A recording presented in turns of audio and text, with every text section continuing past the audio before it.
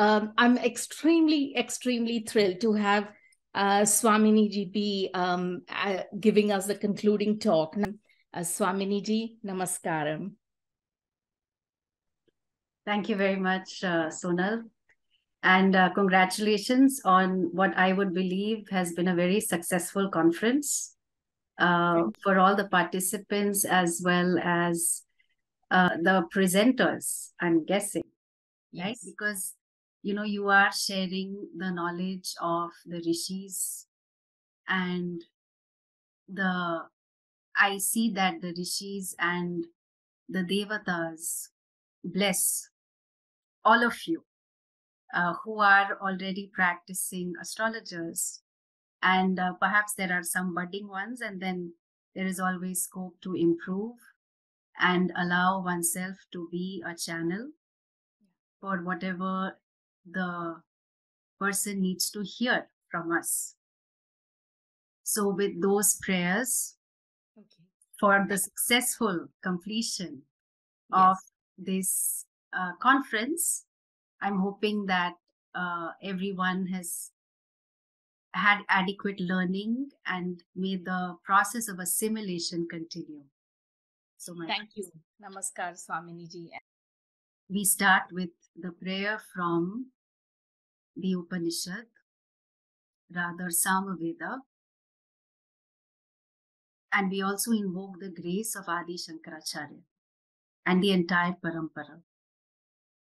ॐ सदाशिवसमारम्भां शङ्कराचार्यमध्यमाम् अस्मदाचार्यपर्यन्तां वन्दे गुरुपरम्पराम् ॐ आप्यायन्तु ममाङ्गानि वाक्प्राणश्चक्षुश्रोत्रमथो बलमिन्द्रियाणि च सर्वाणि सर्वं ब्रह्म उपनिषदम् माहं ब्रह्म निराकुर्यात् मा ब्रह्म निराकरोत् अनिराकरणमस्त्वनिराकरणं मे अस्तु तदात्मनि निरते य उपनिषत्सु धर्मास्ते मयि सन्तो। ते मयि सन्तो। ॐ शान्ति शान्ति शान्तिः। So the prayer really meant that may my limbs my speech my prana ears eyes and my senses, may they all be strong. For what? All that is revealed by the Upanishads is the limitless, that is Brahman. And so, may I always be awake to this may I not deny or reject Brahman because of the next new shiny object. And may there be grace ever flowing in my life. May all the dharmas that are uh, mentioned by the Upanishads, may they shine on me because I am the one that is intent on knowing the Atma and may they shine in me. Om Shanti, Shanti, Shanti. So, for this closing talk, I thought I would take a tiny section from Chandogya Upanishad. And this is the seventh chapter, also popularly called Bhuma Vidya. So, Bhuma referring to the limitless, the knowledge of the limitless. And it starts with a very beautiful story so Rishi Narada is a, of course, as you all would know, Deva Rishi, learned scholar. And as it so happens, he approaches Sanat Kumara, so son of Brahmaji, who was taught by Dakshinamurti himself. Both of them are Brahma Kumaras. And Narada, as we know, has a multi entry visa across all lokas. He can go anywhere, anytime. So he lands up in front of Sanat Kumara Rishi and he says, Adhihi Bhagavaha, please teach me. I know all the mantras, but I have heard that Atmavit Shokam Tarati. that the knower of the Atma crosses sorrow. So please teach me.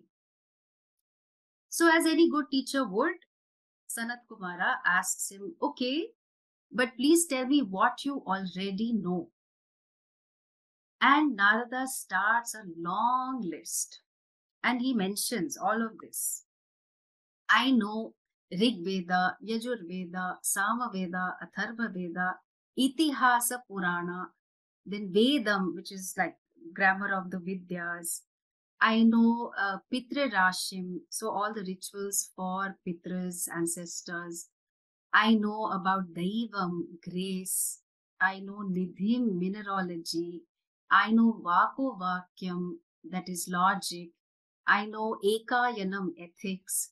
Deva Vidyam, in this particular context, means etymology. Brahma Vidyam, knowledge of the chanting and the chandas of the Vedas. Bhuta Vidya, knowledge of the Bhutas, uh, Panchamahabhutas. Kshatra Vidyam, knowledge of strategy, archery. And here I want you all to note Nakshatra Vidya. So Narada says, I know astrology, astronomy. Sarpa Vidya, knowledge of, uh, you know, Sarpa and everything related to Sarpa, snakes. Deva Janme, I also know fine arts like dancing and, uh, you know, the knowledge of perfume, sculpture, painting, etc. But yet, there is shoka, there is sorrow. So, this is very important. I know all these vidyas, but I still have sorrow because I do not know the Atma. I may know the Atma Karaka, but I don't know that the Atma is the limitless. So Narada was sad because he recognized what the Gita says very clearly hi dhruvo mrityuhu dhruvam janma mritasya cha tasmad natvam shochitum arhasi. So for that which is born, death is certain, and for that which is dead, birth is certain. And for this, there is no parihara, there is no remedy for this condition called birth and death. And so, therefore, Arjuna in the Gita, Krishna says, do not grieve over that which cannot be altered. So while there is parihara in terms of Shani Shanti, Rahu Shanti, Pitra Dosha Shanti, Deva Kopa Shanti, Kula Deva Shanti, there are all these pariharas of gemstones, homas, pujas, tirthayatras, different kinds of karma. There is no parihara, no remedy for death. And Narada, despite being a learned scholar, is not conditioned by his knowledge. He has the humility to go to someone who is wise and asks to be taught this. Because he recognizes that his knowledge, although it is of the Vedanga, it is still a Paravidya compared to Paravidya, that is the highest knowledge. So, the knowledge of the self, that is the limitless. So, Narada says, You know, I only know the words, but I don't know the Atma. And Sanat Kumara confirms and says, Yes, what you have learnt are words, Nama Matram. And then he gives him a list of upasanas that can be done so that his mind becomes a lot more subtle so that he can appreciate the nature of the Atma. And uh, Shankaracharya, he gives an example here. So suppose the king is coming in a procession and you're very anxious to see him. But along with the king, there are thousands of people. There is pomp, there is grandeur, horses, elephants, vehicles. But where, where is the king? Hello. Oh, the king is there, but hidden from you. So, with all the different types of knowledge that we enjoy, we learn, we are blessed with, Narada understands it is all Nama Matram. And so Sanat Kumara starts teaching him.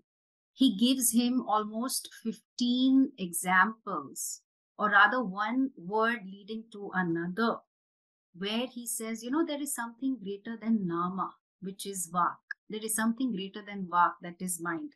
So, so on, he goes on, you know, there's a long list. And then he finally says, you know, what is really important is Satyam. And further, he says, when one gets Sukham, uh, happiness, then one does karma. If you're not getting Sukham happiness, you're not going to do any karma.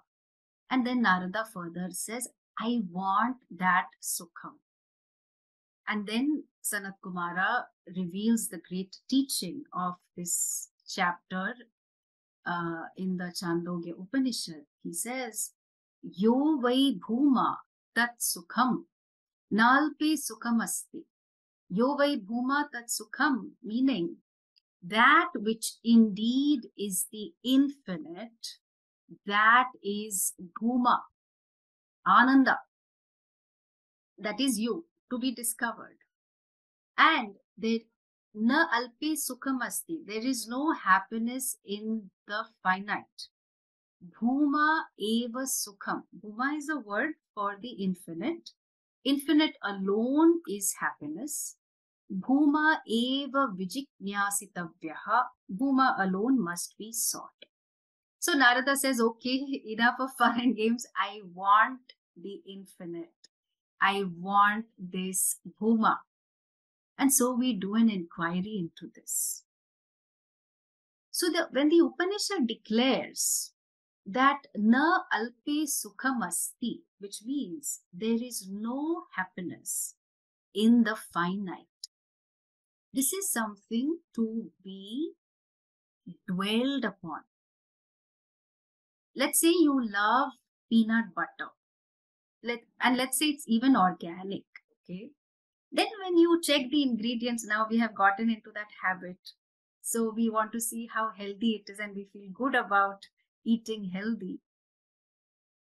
Happiness is not mentioned as one of the ingredients. You love your iPhone 14 and then when you're looking at what it's made up of, happiness is not mentioned as a primary part. Let's say you're on a dating app and even if the person's profile mentions, I am a happy person. Who knows whether I will be happy with this person because I still have to go through the process of meeting the person. So, our everyday experience of happiness suggests that sukham happiness is not a part of something because if it was a part of something it would be giving me happiness all the time. Happiness, Sukham, is not a property of someone because the same person who made me happy uh, in a few years' time uh, may face me in the family court. Not necessary, but possible. And Sukham happiness is not a product of a process because if it was so, I could just repeat the process again and again, and then, hey, happiness, sukham, is really always available to us.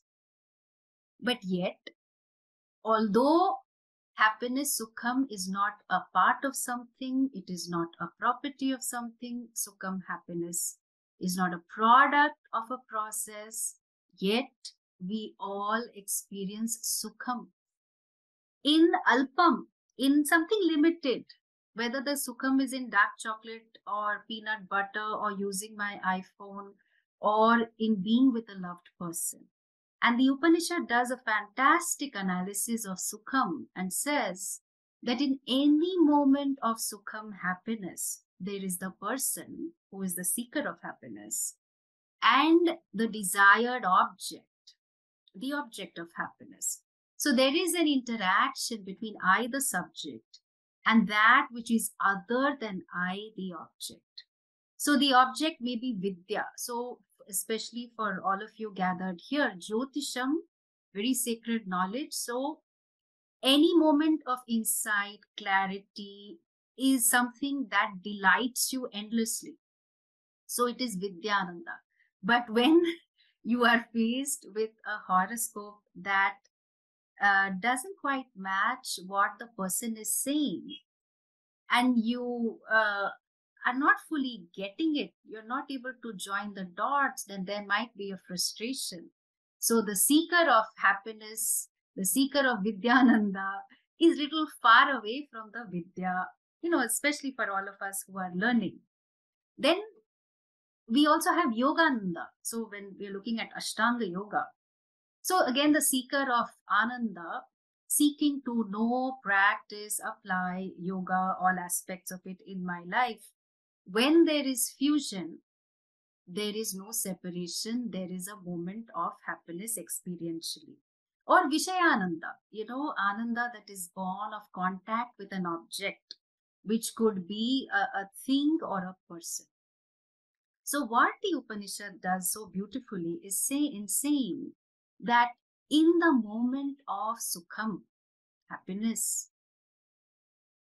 the ananda that you experience or the sukham you experience, you think it belongs to the mind, but actually it is your swarupa, your nature that is being manifest. The object just provides you with a desirable condition so just like the light of the full moon, Purnima, it manifests on the moon, but it does not belong to the moon. So during moments of sukham, happiness, the infinite ananda that you are, that is your swarupa. Swarupa means intrinsic nature, that which can never change, despite anything, everything. It's like how we say the swarupa of fire is to burn. So anywhere in the world, in any culture, it will burn. That's the nature of fire. So your nature is sukham, happiness, and it does manifest in a finite mind, but that happiness, sukham, which is uh, limitless, does not belong to the finite mind. So this experience of oneness that we have in any sukham again, whether you're listening to trance music or eating dark chocolate or being with a loved one, a loved one, there is no sense of lack. There is no more subject and object. We are happy.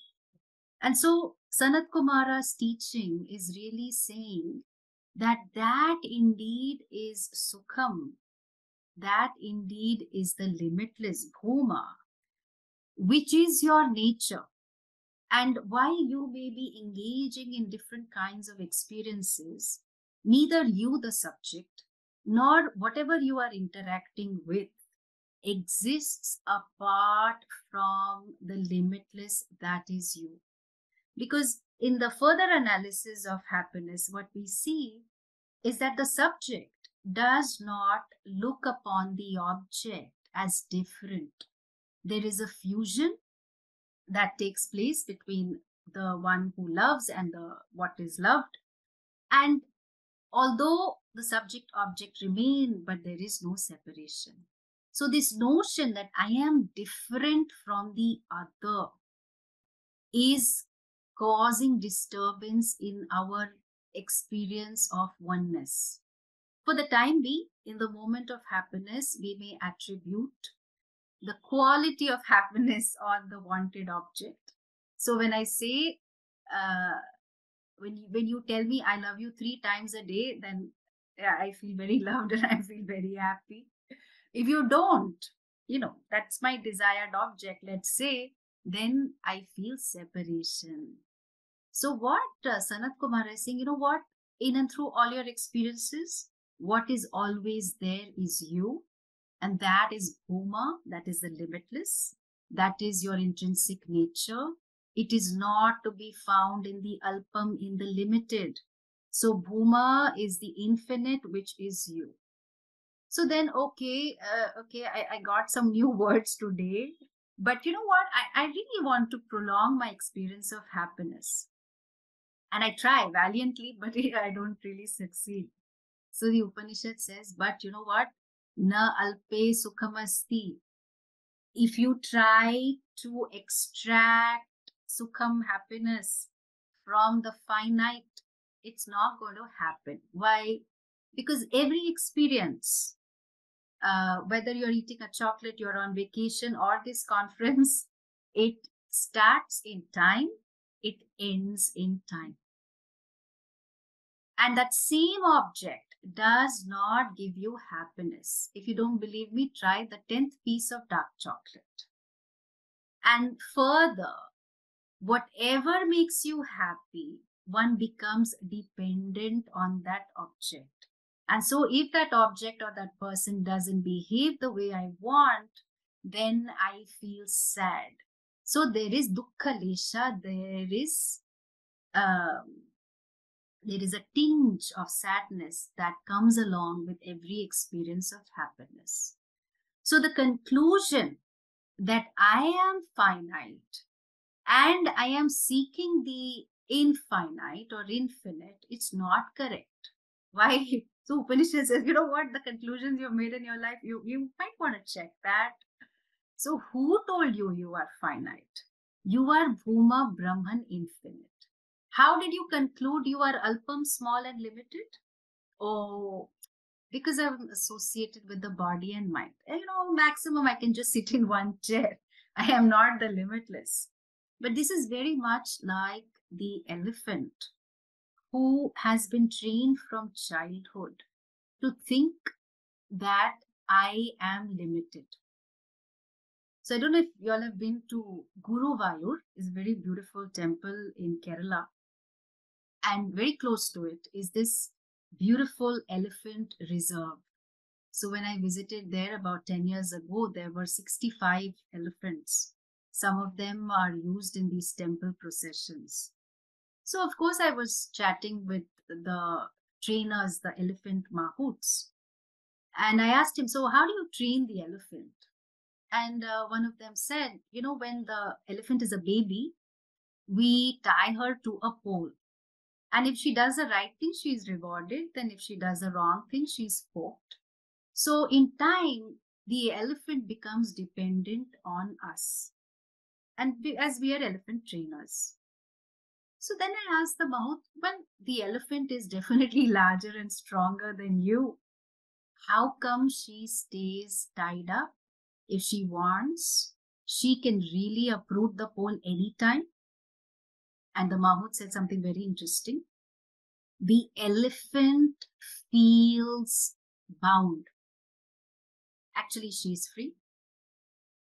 The elephant has outgrown the chains a long time ago. And yes, you're right. If she wanted, she could just uproot the pole and she could just pick us up and thrash us, you know. But the elephant feels bound.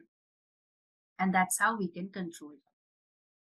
So, similar to the elephant, because of what we are associated with, which is a limited body and mind, and of course, it's a very glorious instrument we have been given, but we feel bound by the body and mind and take it to be absolutely real.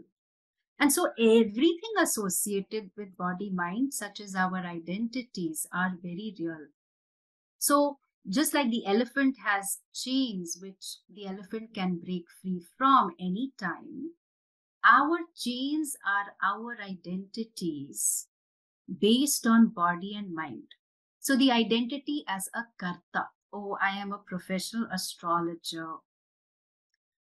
I have to manage my reputation. I want more people to benefit. And uh, while I do fantastic readings, I don't have the time to uh, create awareness. I wish somebody else handled my social media, etc., etc. As a karta, as a doer, whichever profession one is in, one always feels limited. One always feels I can do more. Maybe I should have picked up Jyotish 20 years ago. Maybe I shouldn't have made those mistakes, etc., etc. And then even the identity as an experiencer, a bhokta. So why am I going through such bad effects of Sade Sati? And why is this parihara not working for me? or how we have done all the pariharas for this particular person, but something is not working. So, as an experiencer, again, I might feel I am subject to karma phala as a doer. I feel whatever I do, karma is not enough. And so I try to manipulate my karma, you know, to obtain sukham, much like Narada did, but it doesn't help.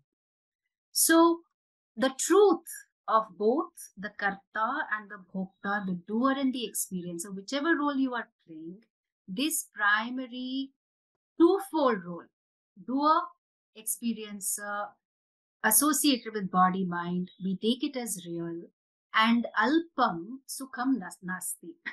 so, in that which is limited, sukham is not there. And so, therefore, what shall we do? Oh, well, who is the one that is aware of limitation? You.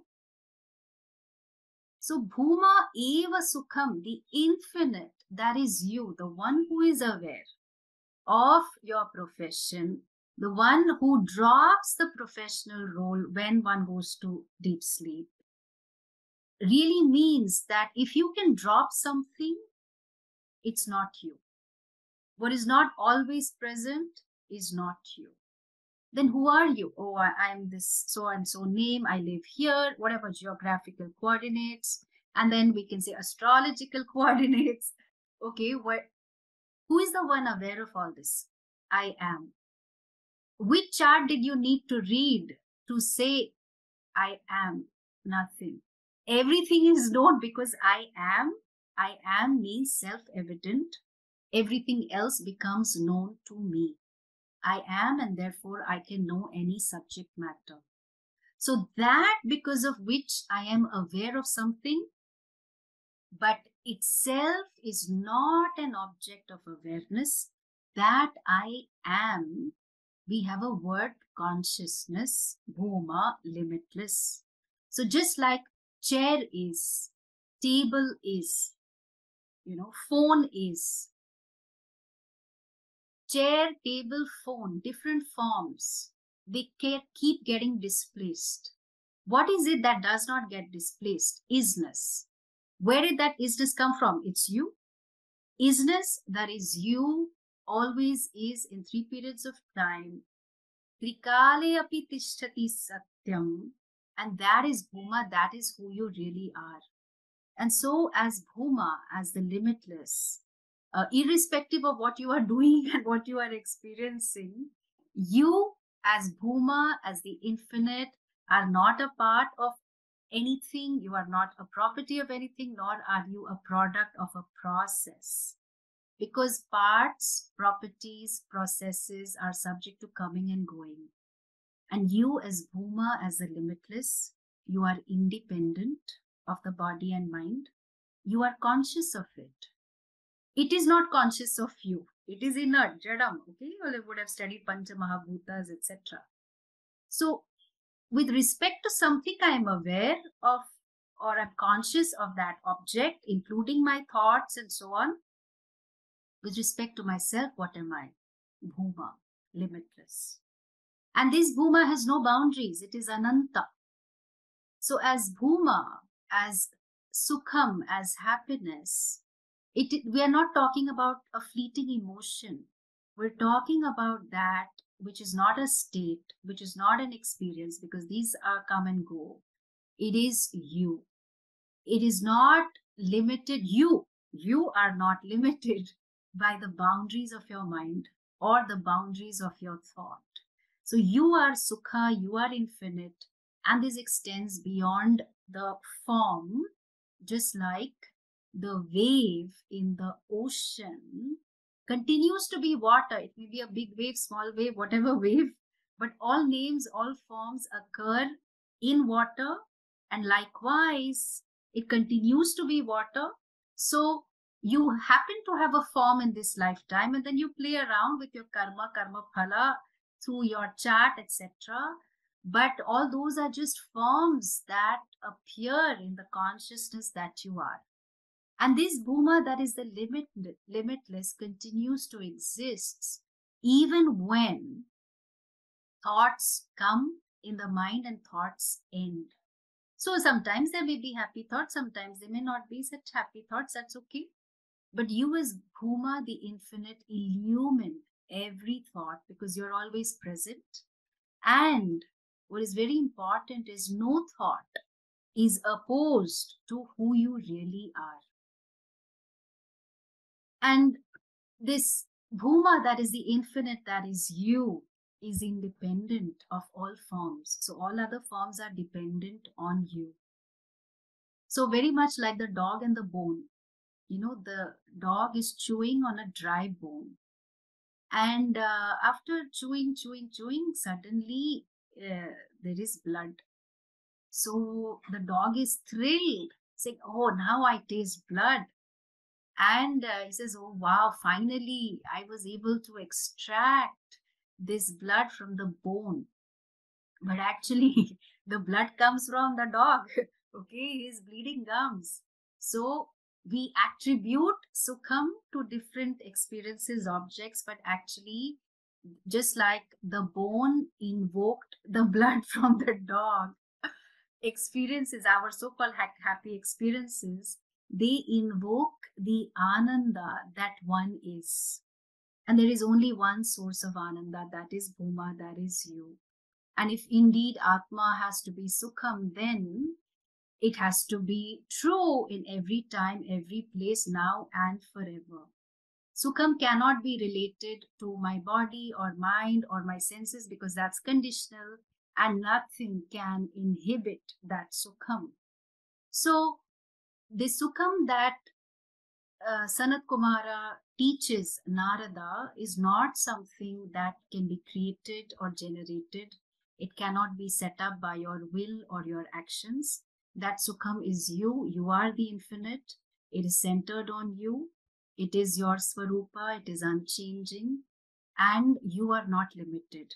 The Atma, the limitless that you are, is not Alpam. It's not small and just your love for sukham your love for happiness uh, reveals that you always want to return to your nature which is sukham. So in any culture we can uh, congratulate people. Happy anniversary happy birthday happy work day happy weekend etc and nobody turns around and says you know what? I, I actually don't want happiness. I've had enough. Thank you very much. No one says that. Why because we seek that which feels natural to us. We want to return again and again to our nature, and that is Sukham, that is you, the infinite Ananda.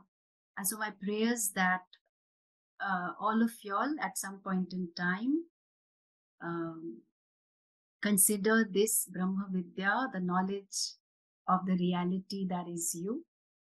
And may the rishis and devatas continue to bless you. Om Tat Sat.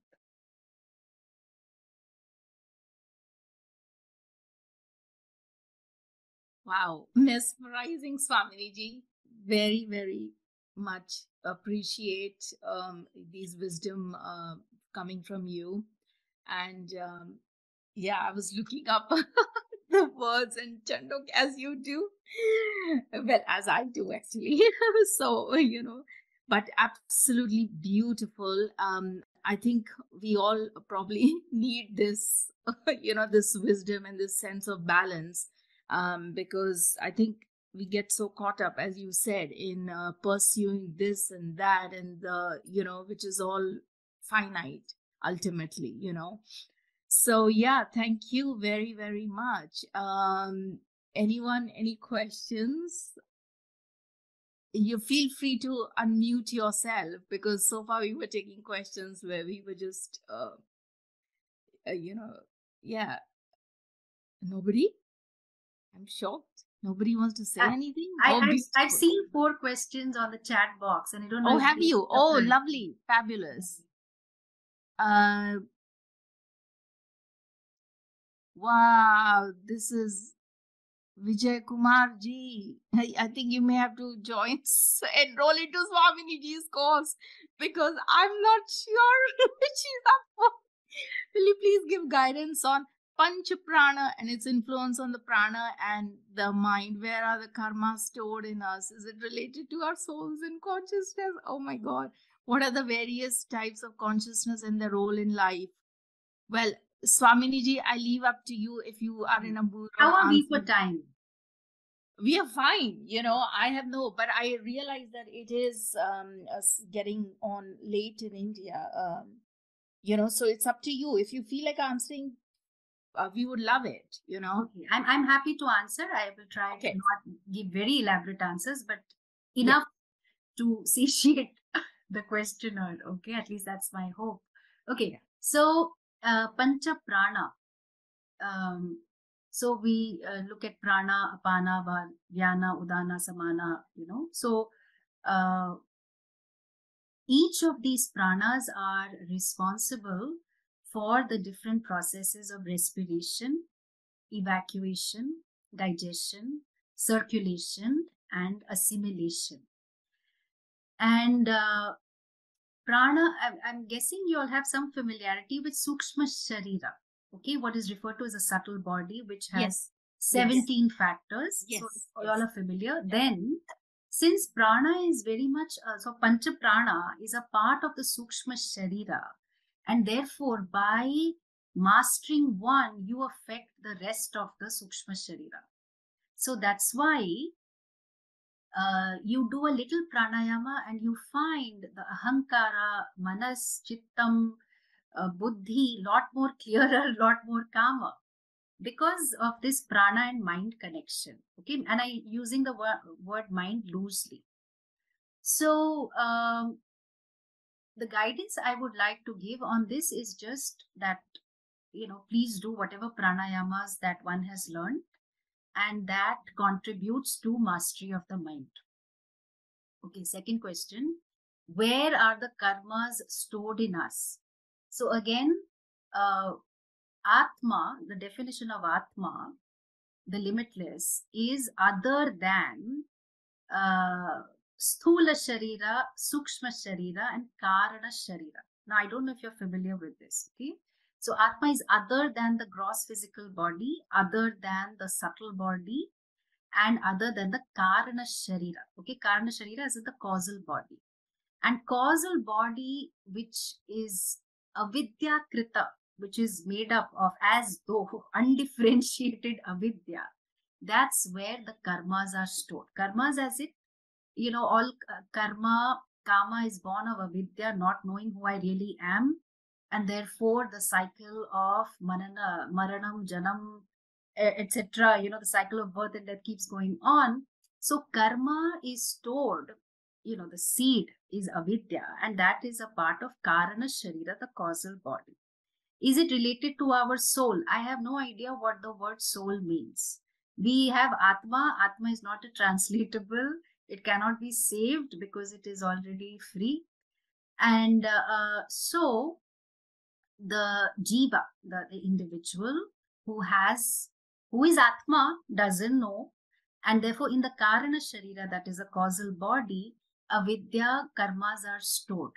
Okay. Then uh, question three, what are the various types of consciousness? There is only one and that is you. Uh, I think you mean something else by the word consciousness. You might mean three different uh, states of experience. That, that is a waking state, the dream state, and the deep sleep state. Uh, and so I, Atma, is avasthatraya, is present in and through all the three states. And each state is exclusive to the other. So uh, they they help us understand that the waker is not a part of the dream state, and so you can drop the waker when you are in a dream or in deep sleep, which really means that uh, what is not always present is not you. So we do an analysis of the three states of experience to come to the consciousness that is you, that is the limitless. Fourth, how can a person get opened up to infinite knowledge and awareness?